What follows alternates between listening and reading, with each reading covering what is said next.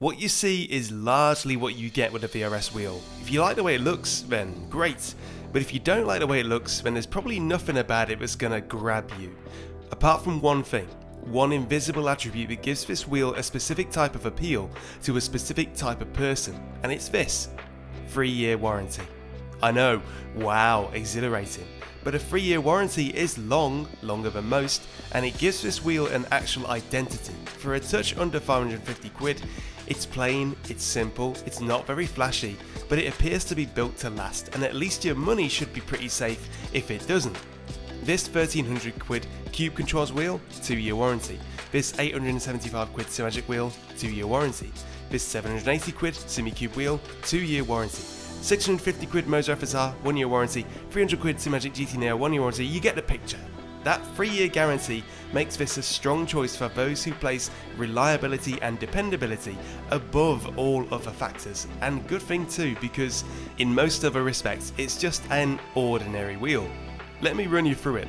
As with all my hardware videos, the kit has been provided free for review by VRS and I am an affiliate partner with them. That means that if you proceed to buy anything from VRS, you'll find an affiliate link in the description which will get you 5% off at checkout Using that link to purchase helps support me at no added cost to you, but please watch the whole video through before making any decisions.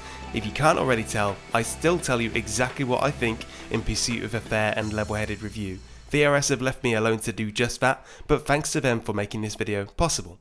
So it's all packaged quite nicely, it is presented with a sense of care and pride, and you are at least made to feel like you're unpacking something the company is themselves proud to put forward. Taking it in your hand, the wheel feels pretty solid, dense and well constructed. The grips are very comfortably shaped and distinctly tacky to touch, which is encouraging as I'd personally rather drive without gloves if I could help it, it helps with staying cool. The shifters are a bit too clacky and noisy for my liking, but they do activate very clearly thanks to the ancient mystical power of magnets. I imagine I'll be able to do something about the noise, more on that later. Some very smooth dual clutch paddles finish off the array to the rear. The buttons and dials are quite plain due to the lack of any lighting or details, but the satin finish to them helps elevate them beyond the ordinary. The thumb dials and rotary switches are finished nicely with the same subtle finish, and I'll grant this, everything on this wheel feels very robust and dependable. I do trust it to survive. Finally, there's a coiled cable for connection to the PC that screws into the back of the wheel and from there you would connect it to a USB extension near the base of your wheel. It's advised to use the supplied velcro strap to secure the cable to the shaft and given the minimal clearance when you just have the plain hub between the wheel and the VRS wheelbase for example, I can see why. There has been at least one person whose cable is broken. VRS support put in right quickly but be aware of this. You can add more clearance to the setup with a spacer or a quick release system, but it's a bit of an oversight for those who, like me, just have the standard hub. However, this cable is not mandatory. The VRS wheel does have Bluetooth connectivity built in, so you can use this totally wire free, which I'll touch on later. To mount this wheel to your wheelbase of choice, you will just need a hub or quick release. Here I'm using VRS's standard hub. Three screws go through the center of the wheel and make contact with the threads on the other side. The fitment follows the universal 70mm mounting pattern found in almost every hub and quick release, so if you wanted to add a quick release here then you can choose any standard system that follows that 70mm pattern. Once connected via cable or Bluetooth, the wheel can be configured using VRS's Direct Force config tool. It's very straightforward and the settings are saved to the device meaning you don't need to have it running all the time. This is where you would change things such as clutch bite points, the behaviour of the rotary encoders, anything that can be changed would be changed here. Driving the VRS Formula wheel, the first thing you're probably going to feel is the urge to silence the shifters. They do clack fairly loudly due to the metal on metal contact. Some people love this, I personally do not. This is fixable, more on that shortly. Shifters aside, I do quickly start to appreciate what the wheel does have. I do like the general form and ergonomics of the wheel. The grips are nice and sticky and shaped well. The tack factor here is great, so you should have rock solid control even with bare hands. I've been able to run the majority of races without gloves, however they are nonetheless smooth and untextured, so if you do start to get a bit hot and sweaty with high force feedback and high excitement races, you might want gloves nearby. This will vary from person to person, but for perspective, the grip and comfort level of these handles is much higher than the Simagic GT Neo I just reviewed. Being a 287mm wheel, it's a mite smaller than what I'd usually prefer, but I've gotten on with it pretty well, and the extra responsiveness has actually been pretty useful for catching those snappy moments that might have been harder to work on my usual 300mm and even 330mm wheels.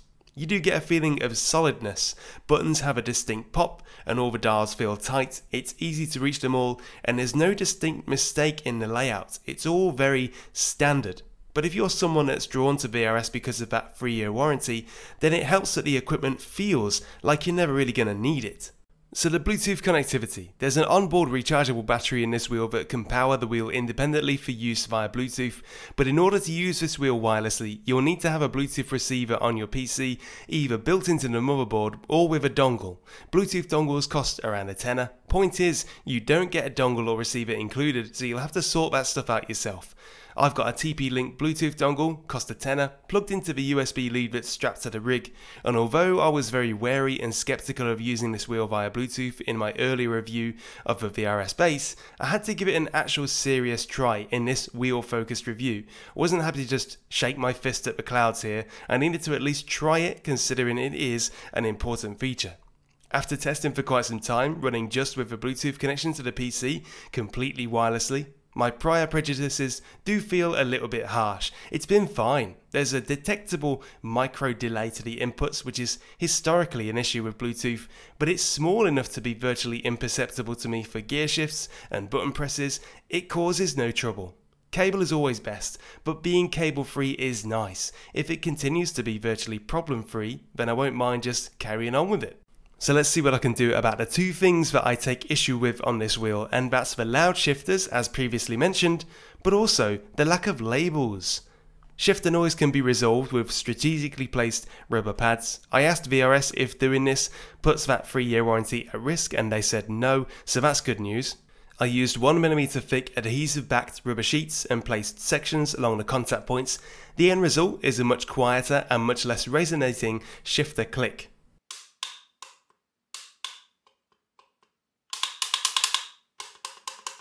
Labels will be easy enough to fix, I've got some to hand from previous stuff that I can add for now. Not perfect, but it illustrates that a little bit of personalisation gives this plain looking wheel something to add interest. VRS likely thought that the red and silver buttons would have done that by themselves, but buttons without a clear purpose just look incomplete, the eye can tell. It would have cost a measly sum to include stickers, so to VRS and everyone else who makes this mistake, stop making this mistake. Give your customers some labels. They will appreciate it. To wrap things up, it's a pretty simple wheel. What you see is what you get, but it's backed up by a decent warranty, and there is a segment of customers out there who take great comfort in buying things built to last. And that 3 year guarantee, which actually applies to all of VRS's stuff, is music to those people's ears, even if the wheel isn't fine art. To point out the obvious, I've only had this wheel in my possession for less than two months, so there's been little chance for anything to go wrong, but that's where you come in. If you own one, is this wheel as hardy as it thinks it is? And what's it like in general? What are your thoughts? Leave a comment below and you'll be so welcome and it will help out people who follow you and view this video to no end. There probably won't be many wheels that go wrong because there isn't much to go wrong and even if it does, VRS's customer service is well regarded. This is just a safe pair of hands for those with safe pairs of hands on the sim. And thanks for watching, I hope this was entertaining. Feel free to leave a comment or question and I'll take a look. Cheers again.